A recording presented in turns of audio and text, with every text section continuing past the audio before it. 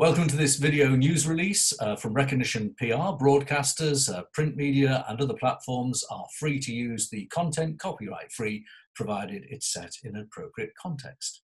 Jonathan Lamb is the CEO of the Entrepreneurs Forum. Based in the Northeast, it looks after well over 300 entrepreneurial businesses, people like me. I'm a member of the board, so I have a vested interest here.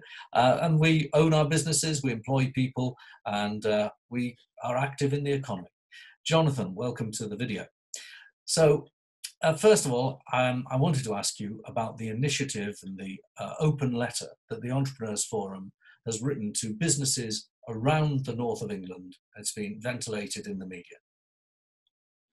Yeah, um, I mean, we have been speaking, as you can imagine, to hundreds of members over the last couple of weeks about the pressing issues uh, for them in the current crisis. And a consistent theme that came up was their relationships in the supply chain, particularly the uh, the payment terms and the way in which uh, clients were um, adopting certain practices more recently uh, to extend terms and um, we were asked by members really to sort of voice that that what we wanted at this moment in time was was a more considered and a, and a sort of more responsible view.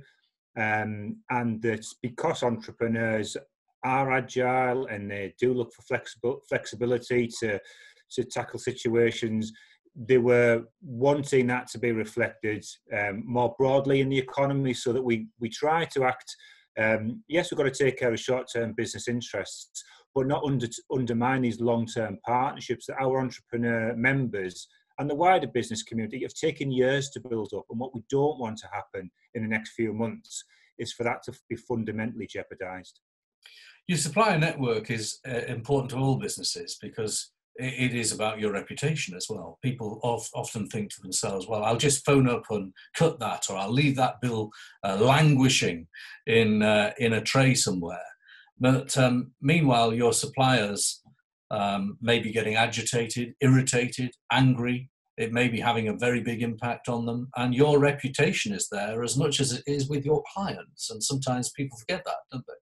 They're doing it, and it takes an awful long time to build trust in a relationship, doesn't it? And some of the um, short-term decisions that will be made um, over the next few months and that have already been made in the last few weeks can undermine that in a very short period of time. And what you want is a long-term business partnership, don't you? Th- through thick and thin, and um, there are examples of, of our members working their, their supply chain uh, supply chain for the long-term interest but we've picked up that there is some concern that that's not enough. And what should see us through is that sort of spirit of collaboration. we're, we're really good at that in the north of England and particularly in the northeast. We're just trying to make the point, um, James Robson, the chair, and I, that we just want that to be something that's just sort of widespread and at the top of people's minds rather than the bottom of it. Uh, in business, we've all heard that phrase uh, turnover is vanity, profit is sanity, but cash is king.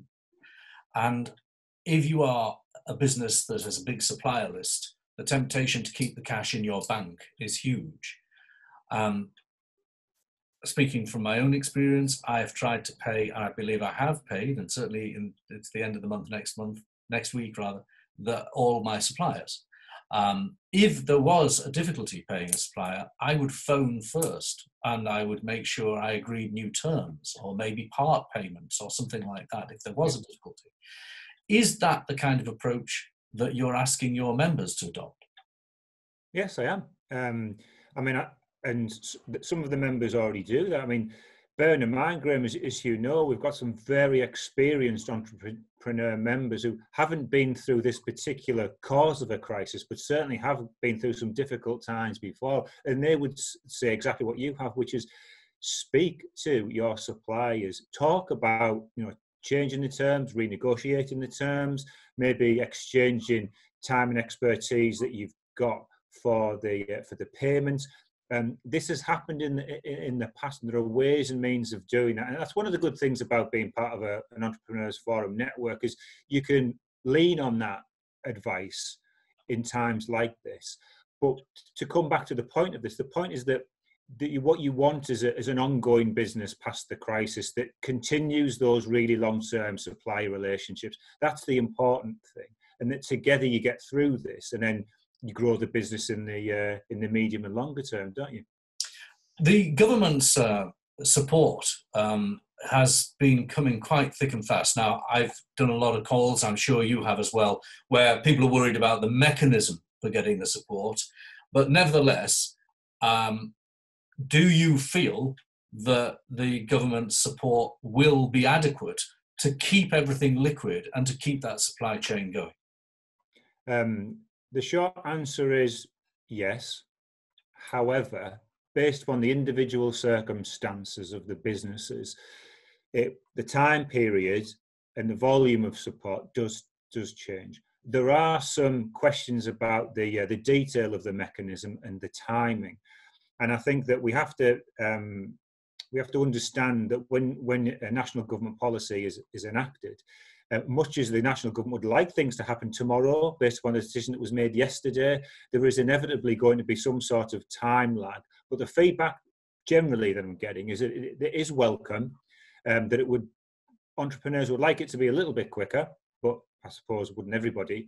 Um, but there is a there is an understanding that um, after all, this is um, taxpayers' money, Graham, and what we don't want to do is make um, make uh, an introduction to the to the business community, which uh, we then regret in the longer term because it wasn't directed in the right way and it wasn't used in the right way. So yeah, broadly welcome. But the two the two things that have come up is just in terms of the time scale and and the need just to get the detail about the criteria out a little bit more quickly. Um, so those are the two points. But broadly speaking, welcomed. Okay.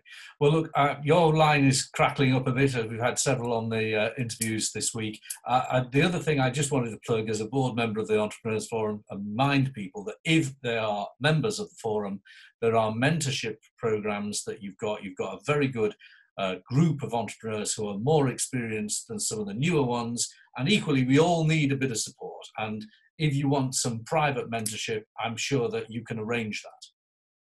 Yeah, you can speak to uh, mentors one to one about the particular circumstances in the business, and you can also talk to people through uh, video conferencing around a number of different subject matters. I mean, the last couple of weeks it has been about managing cash and about people, but that will move on as uh, the circumstances move on. So, yeah, both in one to one or in a video conference environment, there's a lot of experience there to help. And I know if you're a member of the forum, you'll be getting uh, information on that on email. I've received uh, as a member the information. And, and I just say for people watching this who are not members, it may seem a bit odd to go and join a new organisation now in this crisis, but actually, it's a rational thing to do. Absolutely, Graham. Thank you, Jonathan. Speak soon. Stay well. Thanks, Graham.